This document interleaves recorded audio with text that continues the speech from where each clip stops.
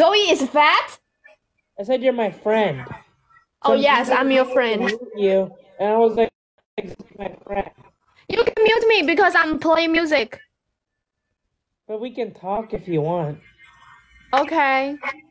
So what's been happening lately? Lately, Yeah.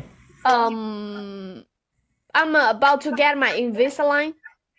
What's that? Like uh, what it like something like a brace?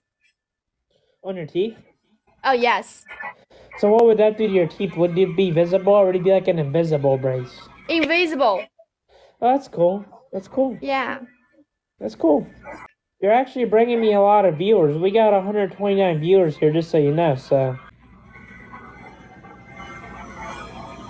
What's the time for you right now? 11 11. Make a wish. Make a wish.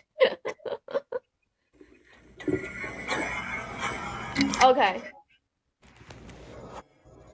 I already got my wish, but I'm not gonna say.